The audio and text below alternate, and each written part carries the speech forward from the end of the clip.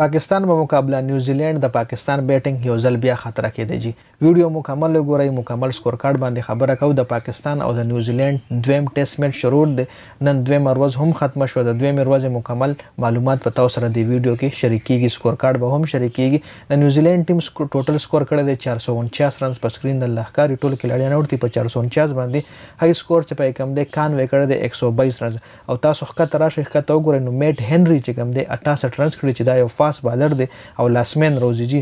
سیکنډ لاسمین روزي اټاسټ رنز ده کړي دي په اکسي بالونو باندې تریاسی سټرایک ریټ سره ده بیټنګ کړی چې هغه کې دوه چکې شاملې دي او اټ چوکې شاملې دي د پاکستان له طرفې میر حمزه یوه ویکټه هم نه ده ایستلې چونکه ده له چانس ملاو شوی دی نوی بالر دی ینګ ټیلنټ دی خو په قسمت ویکټ نه و نسیم شاه درې ویکټ اچتلی دي حسن علي په کاته کې یو ویکټ هم ونشته ابرار احمد څلور ویکټ اچتلی دي آغا سلمان درې ویکټ اچتلی دي دې ځي کې زه دا حیران یم چې میډ هنري چې کوم دی دا یو فاست بالر دی د د 68 رن څنګه کړي ځکه د 68 سکور کچاري در نه وې کړي نو کېدې شي د نیوزیلینډ سکور سه تین سو کی وی اوس چار سو انچاس ټارګټ دی د پاکستان د پاره د فرست اننګز کم سکور دی دی نه پس په بل اننګز هم یوس پرا شو د پاکستان په بیټنګ باندې خبرو وکړو نو یو ځل بیا د پاکستان بیټنګ ماله خطر کی معلومیږي ځکه درې کلړیان په 154 رنز باندې اوټ دی او هغه کی هم امام الحق ټاپ سکورر دی تر اوسه پوری 74 رنز امام الحق کړی دی او بابر اعظم هم اوټ شوی دی عبدالله شفیق بیا یو ځل فلاپ او شان مسعود بیا یو ځل فلاپ شان مسعود او عبدالله شفیق د انګلینډ خلاف هم څه نه دي کړي د نیوزیلینډ خلاف هم دا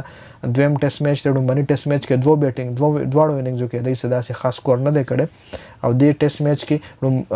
هم په ړومبني ټیسټ میچ کې د نیوزیلینډ خلاف هم دی څه نه دي کړي دا دویم ټیسټ میچ دی کې هم د دې ړومبني اننګز کې دا حل دی یو په 19 اوټ دی یو په 20 باندې اوټ دی بابر اعظم رن اوټ شوی دی په 24 رنزونو باندې 41 بالونه وهلي دي او سعود شکیل چې کوم دی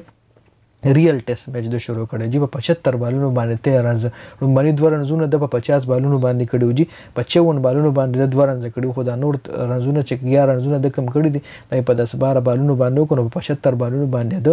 13 رنز دی جی د نیوزیلند بالینګ کچري مونږ وګورو نو میټ هنري یو وکټ ایستلی دا اجاز پټیل یو وکټ ایستلی دا او یو کلاړی چې کوم د پاکستان اوټ په برادم اغه رن اوټ شوی دی میټ هنري تاسو لموي ده تقریباً چیاسی که پچاسی سکور هم کړی دی او بالنګ کې هم ښه روان دی، باره اورونو کې پنځوس رنز او یو ویکټه، نو ګورو چې د پاکستان دا کوم نیوزیلینډ چې کوم سکور کړی چار سوه انچاس چې دا ورپسې پاکستان په ړومبني اننګز کې لیډ پې وراړي که نه دا نیوزیلینډ به پې لیډ راوړي نو سیکنډ اننګز کې به پته لګي د دې میچ چې کوم ریزلټ راځي هغه مطلب جیت او هار کې راځي ړومبنی ټیسټ میچ چې کوم وو هغه ډرا شوی وو او د دې میچ به خامخا فیصله راځي ځکه له دې پته لګي چې دا مېچ به فېصله کېږي او چار سو انچاس رن د نيوزيلېنډ له طرفې په جوابي کاروايي کې د پاکستان اېک سو چوون رنز دې کې درې کېلاړيان اوټ دا د دوېمې ورځې مکمل